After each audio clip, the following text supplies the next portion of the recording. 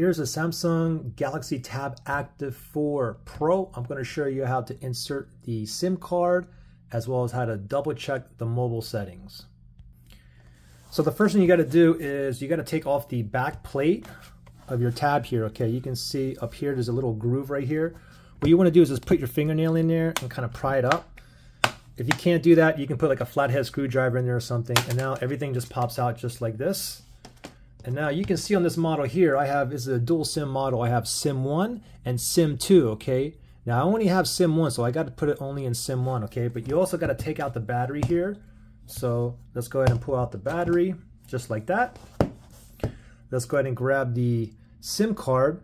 And what I want to do is I want to put it in just like this. And you can see the diagonal cut on the top left-hand side right there. The metal contact is going to be down, okay? So what I'm going to do is just go down here and I'm going to go ahead and slide this in. It's going to slide it, slide it in all the way. All the way till it can't go up no more. If you have SIM2, you put that in there. Also, your micro SD card goes in here, okay? Anyway, I got that in. So let me go ahead and put my battery back in. You don't have to uh, put this on there. You can just hold this and make sure everything is, is um, registering first for your um, SIM card but I know mine is going to register. So I'm just going to pop this back on. And now we have to go ahead and turn the tablet back on. So let me go ahead and turn it on. There we go. Now go ahead and log in. Now, here's the thing. If you guys have a T-Mobile carrier that's in the United States and the first time you put your SIM card in here, once you uh, log in, you may get a message down here saying that you need to restart it, okay? Just FYI.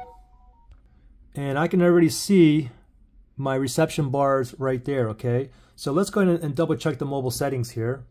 So I'm gonna go to settings here. Let's just go to settings. And then from here, make sure you tap on connections here. And then we're gonna look for mobile networks right here. Let's tap on mobile networks and let's see so you can see the data roaming, they turn mine on by default. Some of you guys may not want that on, or you may have a limit until you start getting charged. I have unlimited data roaming, so that's fine on. Network mode, you can see the uh, right there, LTE 5G. Access point should be T-Mobile, so that's right for me. And this should be set on automatically. So I'm good to go. Reception bars. And there you go. Questions or issues, comment below.